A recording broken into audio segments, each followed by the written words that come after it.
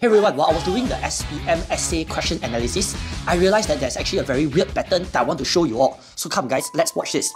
Now for 2024 Punya SPM exam paper, while I was looking through the essay question, I realized that, okay, so one of the essay question was a wave breaker and embankment, and then so you have this type of question which is in the 2024 SPM question number 9.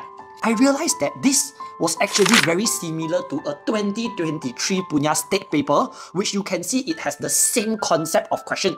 Okay, and in 2023, this question not only came keluar one time, but it also came out in another one more state paper, which is one of the state or, you know, it's a, a agama, which is the SABK or SMKA. So, which means that in 2023, that topic was a hot topic. And then after that, this wave embankment wave breaker question, 2023 hot topic, but only came out in 2024. Okay? Now that's not it, everybody. So you will realize that if I go back to the SPM exam paper, you will also realize that this pattern, okay guys, check this out. 4 cathode ray, which is PQRS, and then you will see that you have to look at the cathode ray. This question, is it very similar? So let's have a look as well. Now, after I do my analysis, right, I realized that for a SPM 2022-2023 Punya Kedah paper, it so happened coincidentally have the similar exam question, which is also on how you choose the cathode ray. So also four choices, question number 10. Okay, is that all? No, that is not all.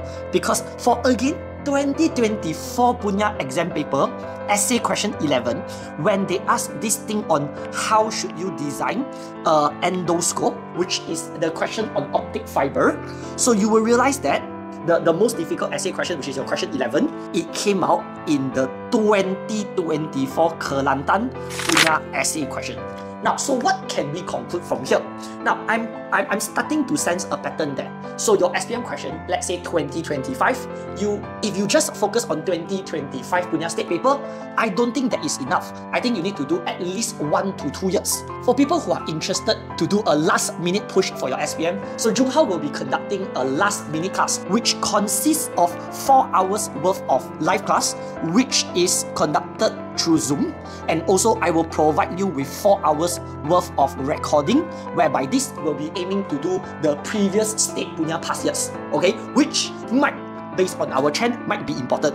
Now for this year 2025, we are also going to put in a 3 hours of free seminar recording. So for some of you who have missed my seminar which was about 1 month ago, so the total hours that you will get from this thing is 11 hours worth of lesson.